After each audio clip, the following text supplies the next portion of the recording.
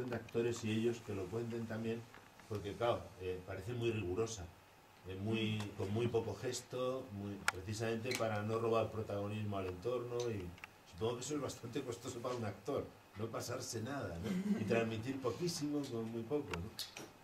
Eh, yo puedo, o sea, eh, yo creo que ellos tienen mucho que decir aquí.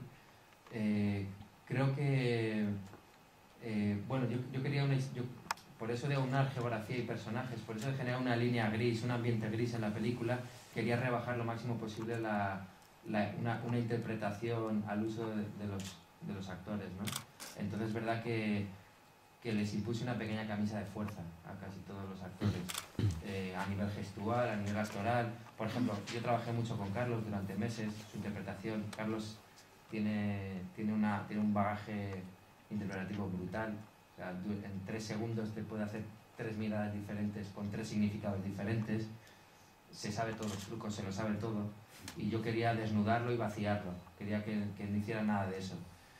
Eh, les puse una camisa de fuerza que también era un peligro, también a Laia, quizá exagerada en algunos momentos, pero ellos como son tan buenos actores, me han dado mucho más de lo que yo les he podido dar a ellos. Y esto parece, a veces he visto entrevistas ¿no? en las que dicen, los actores me han dado mucho, los actores tal, pero es que esto es muy real, sobre todo porque es mi primera película de ficción, ellos tienen mucho bagaje previo que yo no tengo.